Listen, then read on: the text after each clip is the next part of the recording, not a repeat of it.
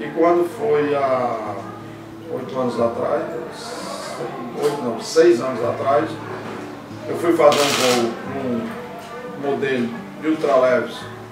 Esse ultraleve já é considerado um avião, categoria avião, mas no, no pouso houve um momento que a, o vento estava muito forte e houve uma rajada de vento contra a gente e ele teve que arremeter. E nessa arremetida a gente bateu num, num, num pequeno morro que estava lá da pista e nós ao, é, subimos ainda em torno de uns 200 metros aí, a gente veio do chão direto. E nesse eu não estava pilotando, quem estava pilotando meu cunhado. Uhum. E aí nós caímos. E ele veio a falecer na hora. Eu tive muitas escoriações. E daí para frente minha vida mudou. Eu lembro que eu, eu pedi a Nossa Senhora e, a, e a minha mãe era muito devota de São Francisco Nossa Senhora. E eu pedi, se salvasse. E também eu, eu, chamei para meu pai e pela minha mãe. Meu pai fazia exatamente um ano que faleceu. E eu chamei eu, eu dei o tempo de chamar, pai, não me deixe morrer. E ontem, essa semana, eu estava com um médico amigo meu, doutor João França aqui. Doutor João França disse, Amorim, é, você tem que comemorar duas vezes o aniversário, porque também eu tive um infarto e eu entrei no hospital parado. Eu passei 17 minutos sendo ressuscitado. Estou aqui sem nenhuma sequela. Isso é inacreditável. Certo? Médicos, amigos nossos, médico daqui do hospital, neurologista, no mínimo era para você estar com sequelas horríveis. Você é uma pessoa normal, vem de um, de de um acidente do avião, quando todo mundo sabe, nós que somos pilotos, é, que quando cai é muito raro, um ultraleve sai alguém. Eu acho que é Deus, só Deus me tirou. Deus me deixou aqui que eu tenho uma missão aqui. Eu não sei se é cuidar dessas crianças nesse hospital, trabalhar para que elas tenham um melhor é, atendimento, mas Deus me tirou já de vários acidentes, vários.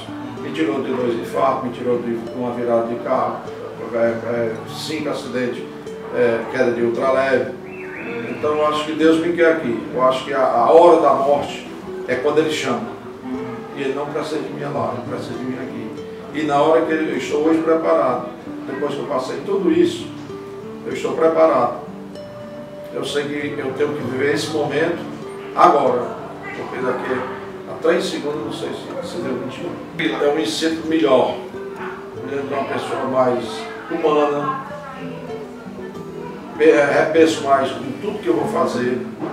Eu deixei de ser aquela pessoa, eu era muito imediatista, deixei de ser. Hoje eu penso mais, penso mais na família, tá? penso nos meus amigos, na família em si. Porque a gente, quando a gente vai, a gente deixa uma, uma lacuna para as pessoas queridas. É difícil até falar isso, mas teve um momento, no, esse momento no avião não foi um momento tão difícil na minha vida como o meu, meu último infarto. É, que eu parei na entrada do hospital e eu fui ressuscitado. Eu fiquei uns, dizem foi 17 minutos, com os médicos dando é, o, o, choque, ressuscitar, minha mulher vendo. E um irmão meu fez uma pergunta. Quando ele entrou depois de. Quinto dia foi que eu recebi visita. Eu recebi visita ninguém. E aí meu irmão fez uma pergunta. E aí, como é que foi lá? Aí eu disse para ele, foi lindo. Eu, eu cheguei numa sala onde só tinha criança brincando. Todo jeito. Abriu a porta, era uma sala. Tinha criança de todo jeito. Criança preta, criança branca, mestiça, índio, tudo, as crianças todas, como ela vestidinha assim, normal, todo colorido, como se fosse um aniversário de criança.